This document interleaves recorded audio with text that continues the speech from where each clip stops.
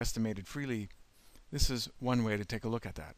We want to see that they're equal to zero as a mean, and we want to uh, see that there are no particularly large values and that there's a normal distribution associated with them. So I'm going to create again a new data file to input those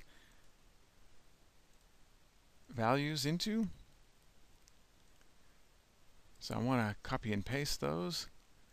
These are all the non-salient loadings. Now I should probably define what a non-salient loading is.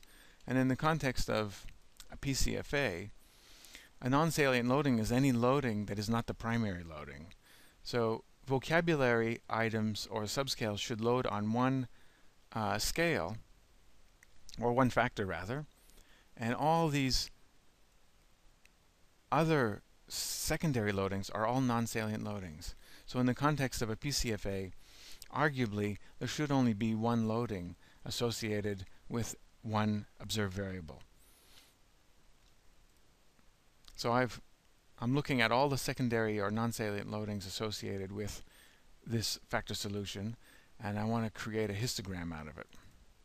So now I'm going to grab these non-salient loadings put that in there. Oops. Grab these non-salient loadings. There. Oops. And these are also non-salient loadings. So they're all the loadings that don't correspond to that particular factor. This factor here, the third one's arithmetic. So the intersection and vocabulary loadings are non-salient.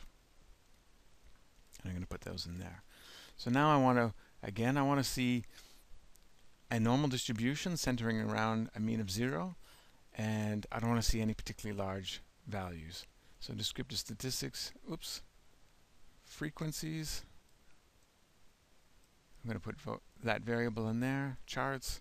I want to see a histogram. Click on continue and click on I don't want the frequency tables. So click on OK. And here is uh, my distribution. And we can see that the mean is equal to 0. Let me just make that a bit bigger. So we have a mean of 0. There are uh, 30 non-salient loadings. And there are no particularly large values. I probably want to check the scale. Doesn't look great, but you won't expect anything great with a, um, let's see if I put it at 0.2. Whoops.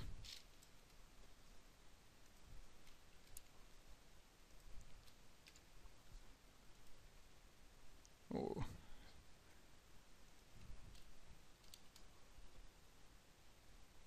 That's too much.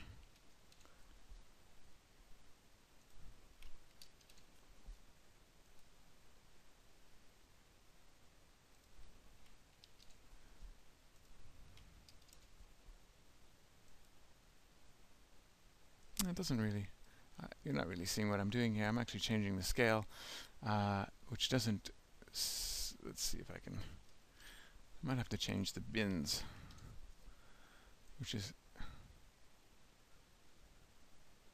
kind of arbitrary with SPSS.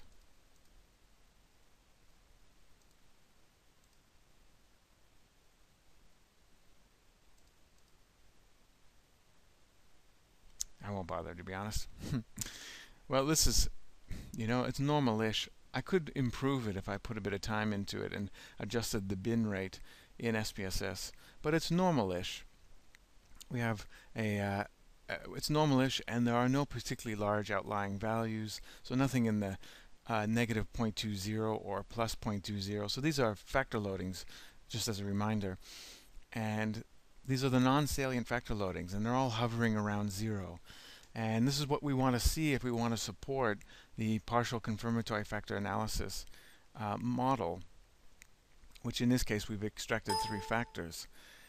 So based on the fit indices, uh, which the incremental fit indices are all above 0.5, 0.95, and the absolute fit index, which is less than 0.8, and SRMR was estimated at about 0.02 which is less than 0.06.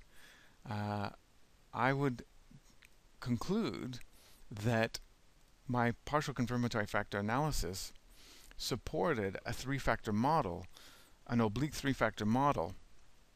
And now if I collected a new data set and I wanted to retest this model in a confirmatory factor analysis, I actually have a chance of supporting an oblique three-factor model solution, uh, three-factor model. Had I not obtained good fit values and non-salient loadings in a histogram that were non that were not particularly large, hovering around a mean of zero. Uh, had I not observed that, there was no point in collecting new data and trying to get uh, a good confirmatory factor analytic model fit associated with a three-factor model solution.